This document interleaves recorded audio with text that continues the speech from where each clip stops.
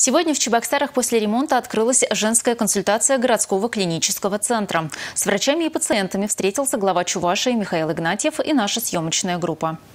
Анастасия Домникова живет в юго-западном районе Чебоксар и на учет по беременности встала в женскую консультацию городского клинического центра. Раньше здесь нравились специалисты, теперь еще и обстановка. Сейчас все стало еще и очень современно, красиво, что э, немаловажно, особенно для тех, кто находится в таком же положении, как и я. Елена Пушкина ждет уже третьего ребенка. Наблюдаюсь уже в третий раз. Уже третья беременность проходит у меня здесь. Раньше были все равно обшарпанные коридоры, все в темном, как-то в темных тонах.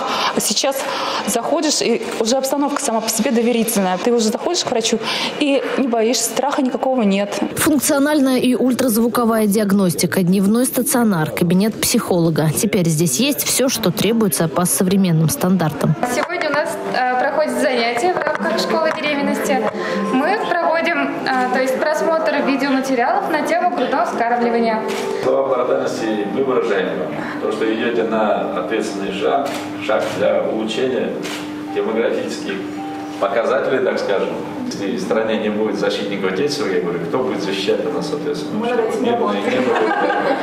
Молодцы. Из того, что выходит за рамки медицинских стандартов, возможность проконсультироваться с юристом. Чаще всего девушки обращаются по вопросам назначения социальных выплатах, предусмотренных вот беременным и также после рождения ребенка. Вот, вот девушка сегодня обратилась по поводу, у нас 1 января 2018 года нововведение, новая социальная выплата, а, связанная в связи с рождением первенца в 2018 году.